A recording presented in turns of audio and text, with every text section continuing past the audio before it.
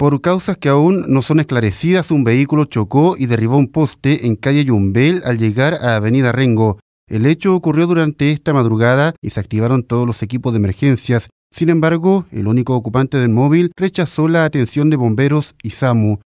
Se reitera el llamado a mantenerse atento a las condiciones del tránsito.